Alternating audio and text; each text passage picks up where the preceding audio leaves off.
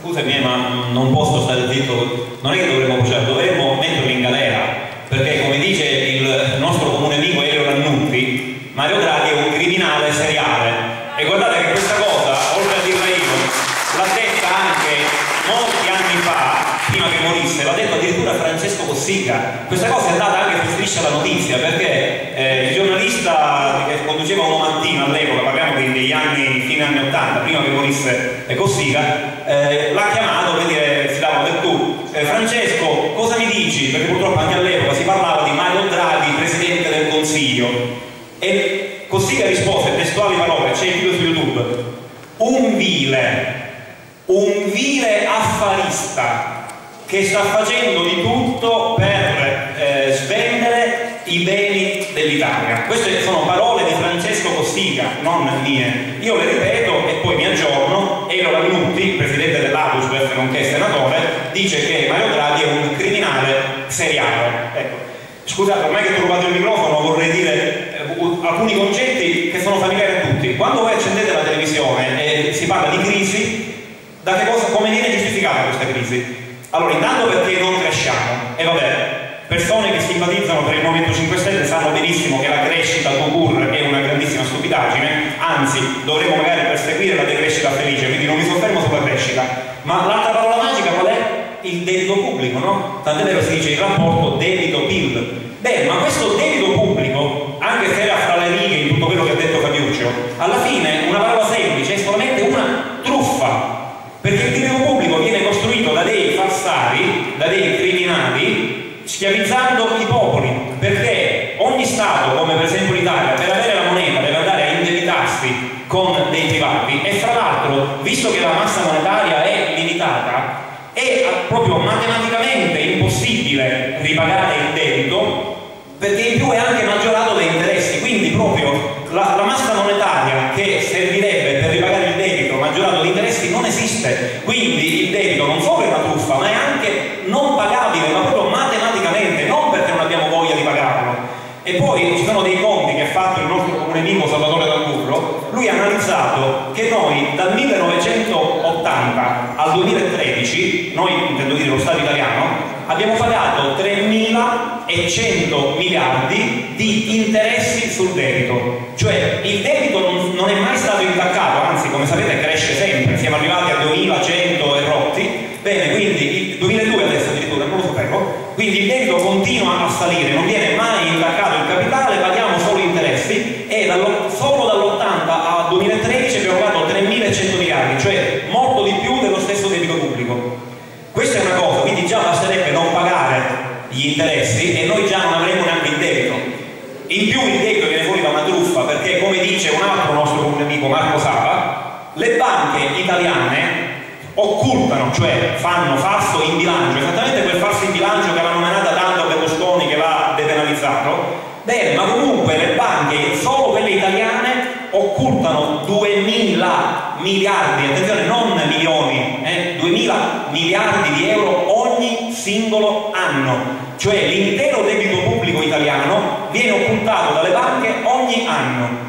Ovviamente, essendo dei fondi occultati, le banche non pagano le tasse tutti questi soldi, quindi altro che evasione fiscale che vanno a perseguitare magari il gelataio che non fa lo scontrino di 1,20 euro per il gelato. Quando ci sono le banche, solo la banca Unicredit 500 miliardi ogni anno, la somma di tutte le banche, di tutto il sistema bancario italiano è 2000 miliardi, che è una cifra enorme, l'intero debito pubblico ogni singolo anno viene rubato dai banchieri. E poi eh, sempre cercando di, di, di, di, parlare di un'altra cosa con cui tutti siamo, siamo familiari, a parte la parola eh, del debito pubblico. Quando voi andate in banca e fate, questo è solamente una dimostrazione pratica di una cosa che ha già detto Fabio, quando voi andate in banca a versare 100 euro sul vostro conto, cosa fa la banca? Vi mette immediatamente sul vostro conto corrente più 100 euro, ok? Ma i 100 euro cartacei che voi avete depositato sono nella cassa della banca se dopo due minuti va un cliente e chiede 100 euro, loro danno quei 100 euro di carta per cliente. Cosa è successo? Istantaneamente la massa monetaria in piccolo è stata raddoppiata perché ci sono i vostri 100 euro informatici sul vostro conto più i 100 euro che sono stati dati sempre il cliente. Quindi con uno schiocco di dita la banca ha raddoppiato i vostri 100 euro. Neanche Gesù Cristo è in grado di fare così. Lui al massimo moltiplicava un po' di pesce e di pani e trasformava un po' di acqua in vino. Quindi le banche hanno superato Gesù Cristo perché raddoppiano i soldi istantaneamente. Moltiplicate i vostri 100 euro altri euro che ognuno di noi magari va a depositare in banca e capite che l'introduzione della moneta elettronica non controllata, perché non è che io sono contrario all'innovazione, una moneta elettronica controllata sarebbe utile e comoda, ma la moneta elettronica come oggi, che genera il cosiddetto signoraggio secondario, perché almeno sulle banconote spendono 30 centesimi e poi ce le prestano a valore di 100 euro. Ma la moneta elettronica non costa niente, quindi questo viene chiamato signoraggio secondario,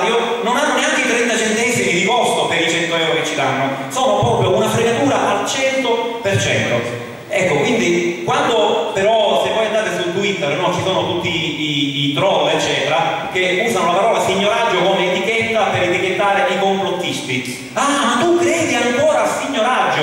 E ci sono anche persone, anche dei giornalisti molto molto informati e molto in gamba, come per esempio Paolo Barnaco, che tutti osanniamo, me compreso, perché tantissime cose che dice sull'euro, sulla schiavitù delle banche, le dice anche lui, però poi dice che il signoraggio è una stupidaggine, si dimentica questo vincolo particolare e se parli di banche o del fatto che il debito pubblico è una truffa ti dice eh, ma se tu non paghi il debito pubblico così freghi i cittadini italiani che sono i creditori di quel debito pubblico, cosa non vera o perlomeno vera solo in parte perché solo il 10% se non ricordo male del debito pubblico è in mano ai privati, l'altro è in mano alle banche o comunque agli speculatori. Quindi se l'Italia prendesse la decisione di non pagare il debito pubblico, o perlomeno potrebbe decidere di non pagare quel 90% che è eh, in mano agli speculatori e pagare con moneta sovrana eh, il debito, magari anche con gli interessi ai creditori che sono i cittadini, come potrebbe essere qualcuno di noi, i nostri nonni, qualcuno che ha investito su TFR, eccetera, eccetera. Quindi, ecco, scusami se mh, mm, credo di aver aggiunto qualche dettaglio che eh, magari è un po' più chiaro, perché eh, sono esempi. Poi non lo so, magari dico tu, anche tu hai detto la parola falsario, ma uno degli esempi che mi ha fatto capire questo concetto, che sembra facile, ma forse eh, quando si ascolta per la prima volta non lo è, di quanto siano falsari i banchieri, è quello del tipografo. Lui ha citato la parola tipografo. Voi immaginate un attore, un attore di teatro che vuole fare uno spettacolo magari qui a Brugerio. Allora va da un tipografo, vuole stampati mille biglietti dalla tipografia, perché lui dice io per fare per gestire gli ingressi al teatro ci sono mille posti, si fa stampare mille biglietti. Bene, allora lui va dal tipografo, gli ordina il biglietto e il tipografo dice cosa devo scrivere? Allora scrivo, che ne so, Pinco Bambino, la data dell'evento, eccetera, ingresso 20 euro. Bene, quando dopo tre giorni l'attore va a ritirare i biglietti, questi mille biglietti, il tipografo gli dice 20.000 euro. E l'attore dice, ma scusi, come 20.000 euro? Ma io le posso pagare 10 centesimi, va bene, carta molto bella, filigranata, le pago 30 centesimi al biglietto, ma perché le devo pagare 20 biglietti? Il, il valore del, dei soldi, cioè il valore del biglietto d'ingresso. Ecco, questo è quello che fa Draghi. Stampa della carta straccia colorata, molto carina, molto ben fatta, e ce la dà al valore nominale e ci chiede di restituire quello. I soldi che sono un metro vengono praticamente prestati. È come se noi dovessimo misurare la lunghezza di questo tavolo e per poterlo misurare ci serve un metro che non abbiamo. Allora io vado da Fabio e dico Fabio mi presti un metro? Lui mi presta questo metro, allora io misuro il tavolo, dico questo tavolo è lungo 2 metri e 20 centimetri e lui mi dice mi devi restituire il metro che ti ho prestato e mi devi dare anche gli interessi. Quindi per cortesia dammi 20 centimetri. Io 20 centimetri dove li vado a prendere, visto che il metro l'ho appena restituito a lui e il metro ce l'ha solo lui, nessun altro ha metri da prestare per fare la misurazione. Dico io questi 20 cm dove li trovo? Dice non ti preoccupare, taglia un pezzettino di tavolo, taglia 20 cm di tavolo e mi dai quello.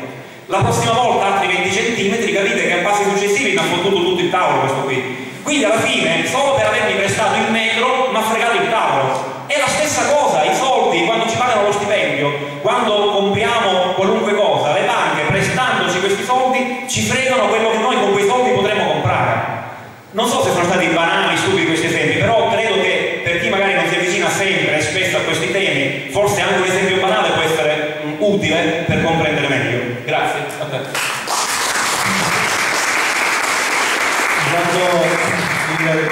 Il falso in bilancio, il fatto che comunque il valore nominale che loro sottoscrivono di fatto non è quello reale. E c'è da dire anche che a livello di banche commerciali private loro mettono al passivo delle, dei valori che in realtà sono dei, dei, valori positivi, cioè che generano degli utili. Per esempio eh, i conti correnti, i depositi, per loro sono considerati come delle passività però sono di fatto dei valori eh, positivi perché? Perché loro poi li riutilizzano, perché poi ovviamente li investono e, e di fatto creano della moneta appunto col signoraggio secondario, cioè quello che eh, se banca depositi 100, loro praticamente quel 100 lo fanno diventare per 5.000, cioè lo, lo, lo, prestano per 50 volte quel valore e creano appunto denaro tramite la riserva frazionaria, cioè tengono in deposito il 2% del depositato e il resto lo prestano. E, e, questo è appunto un problema perché come ha scritto in un libro Il futuro delle banche Nino Cannoni, eh, per fare un esempio, è come eh, che un, un, gestore di un garage eh, mette al passivo eh, le macchine posteggiate, cioè non ha senso praticamente di mettere le, come passività dei depositi o dei, dei conti correnti. Eh, e questo è quello che fanno le banche. Riguardo eh, Mario Draghi, vabbè, lo sappiamo tutti, il gruppo Bilderberg è il gruppo dei 30, perché anche il gruppo dei 30 è ovviamente un conflitto di interessi notevole. Eh, e poi sì, il discorso della moneta a debito, il debito pubblico, eh, il debito esplode, il debito italiano esplode negli anni 80-90 quando c'è stato il divorzio tra Stato e banca al di là delle spese improduttive e tutto quello che ci viene detto in televisione, di fatto il debito pubblico ha, trova una sola ragione, che è quella degli interessi sul costo del denaro. Quegli interessi che abbiamo pagato quando la Banca d'Italia ha smesso di essere d'Italia. Si è scissa dal tesoro dello Stato eh, non ha più tutelato i titoli di Stato e lì il debito è esploso dal 57,7% del 1980 al 124,3% del 1994, cioè è più che raddoppiato. E allora c'è qualcosa che non va. Perché? Perché abbiamo, noi attualmente paghiamo degli interessi di circa 90 miliardi, stanno arrivando verso 100 miliardi di interessi annui sul denaro, su della carta che potremmo stamparci di nostro e questa, questa è stata nel 1960 l'iniziativa di Aldo Moro, quando ha praticamente eh, stampato i biglietti di Stato a corso legale. Aldo Moro ovviamente eh, è assurdo chiedere del denaro in prestito delle banche e indebitarci. Lui eh, ha, preso questa iniziativa, però ovviamente quando tu a togliere un potere così grande a delle, degli istituti finanziari che da secoli oramai controllano il sistema, ovviamente non puoi fare una, una brutta fine. E grazie alla rete comunque si sta diffondendo sempre più eh, queste, queste, notizie perché le persone stanno iniziando a, a reagire, cioè, dicevo prima delle monete complementari, in Lombardia se non erro avete preso questa iniziativa della, delle monete complementari. Prima no. Va bene.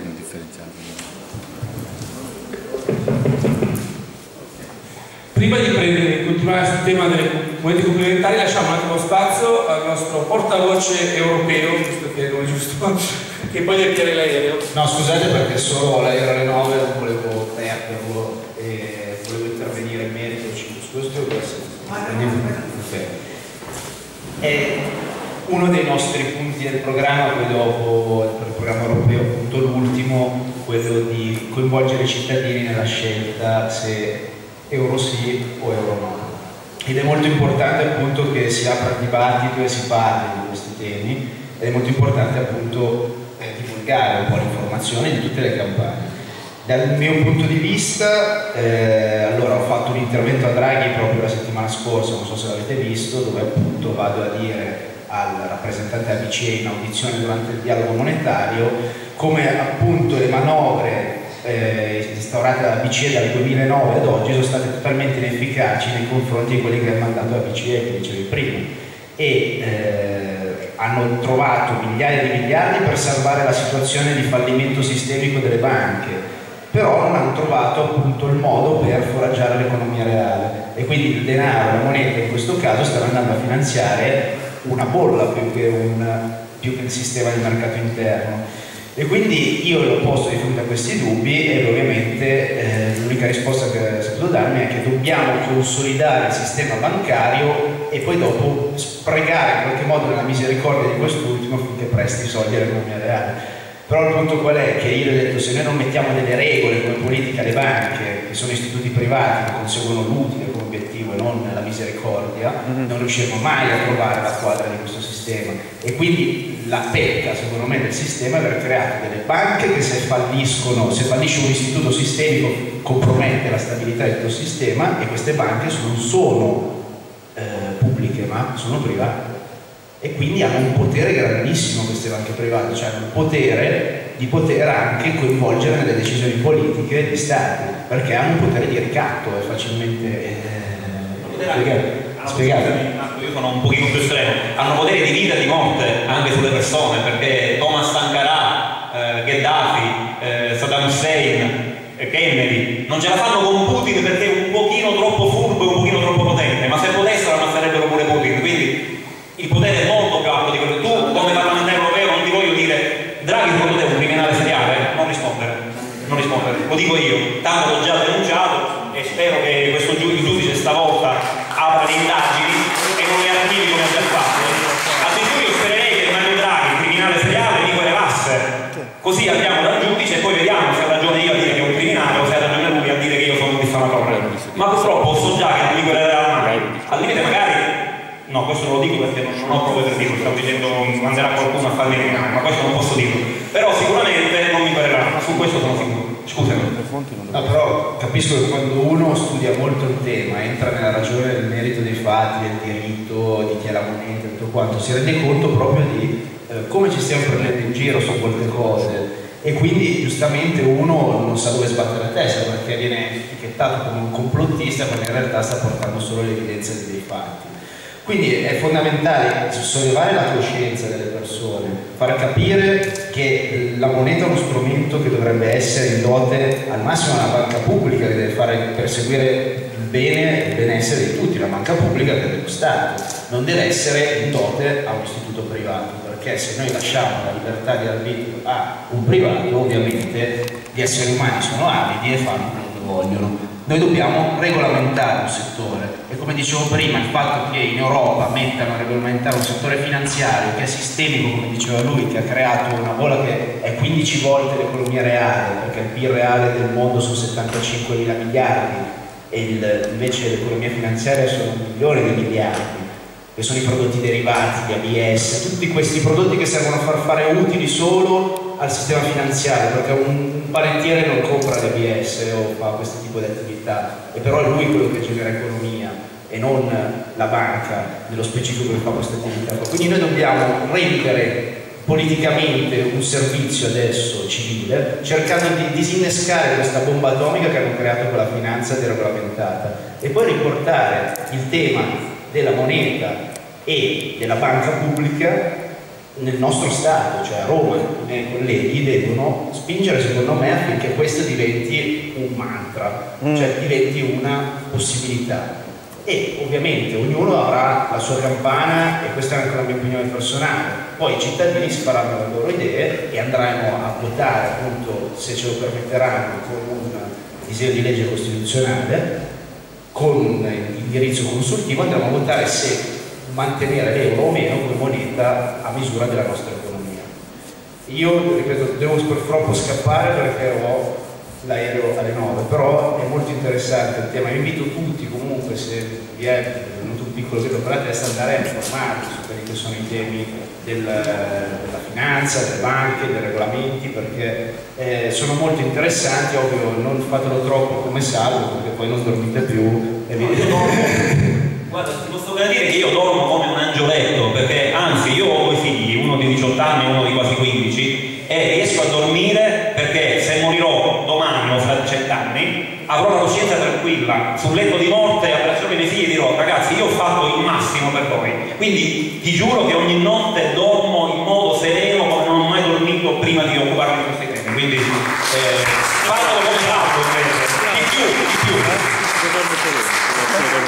Grazie, lascio la parola a Martino così a esporvi un po' la situazione e cerchiamo appunto di fare mente locale su questi temi perché potrebbe arrivare appunto per quelli che, sono, che partecipano al movimento la possibilità di decidere anche su quello che è la nostra sorte sulla moneta e dare un'opinione, un'opinione che è quella democratica diretta che noi spingiamo dal basso sempre. Grazie.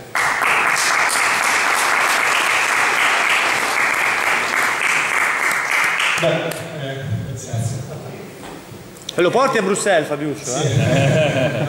Beh, il, problema quindi abbiamo, abbiamo capito, diciamo, è chiaro, siamo, siamo, qui, siamo vittime praticamente di un sistema bancario che eh, utilizza e abusa di queste errate forme contabili perché poi eh, è quello. E, e, noi appunto stiamo eh, cercando le soluzioni. Le soluzioni quali sono?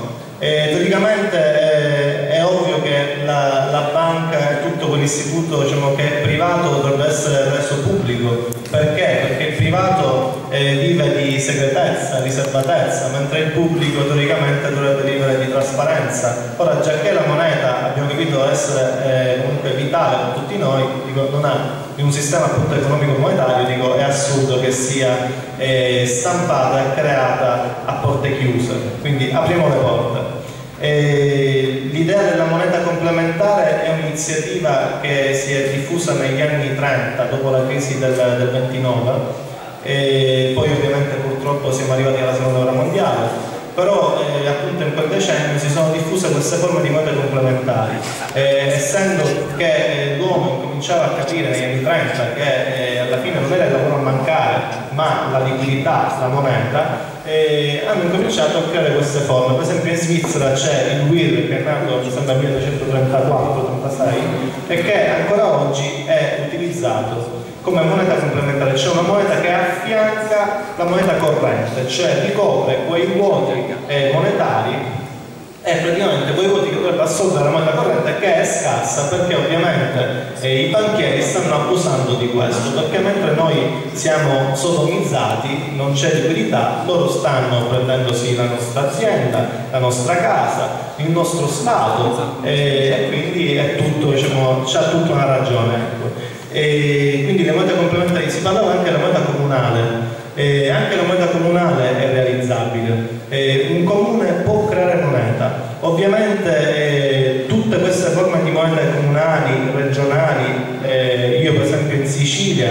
stiamo eh, lottando per il progetto Sicilia, per l'inserimento della moneta grano, aspettiamo che venga approvata perché ovviamente poi la decisione politica è quella ultima qui ci sono dei comunque esponenti eh, regionali, diciamo, comunali, quindi possono loro stessi diciamo, eh, fare qualcosa per tutti noi e, e, mirare a quello, ovviamente con l'idea ultima della solidarietà monetaria eh, di un ripristino di una solidarietà monetaria totale.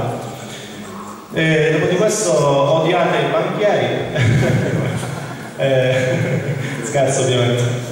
Allora, dobbiamo chiudere, però... Io... Domande del pubblico, domande. domande del pubblico? Ok. Sì, ce l'avrei una... Vai, funziona? Certo. Poi ce l'ho una anch'io, eh? Eh, una anch'io però. Eh. Ah sì?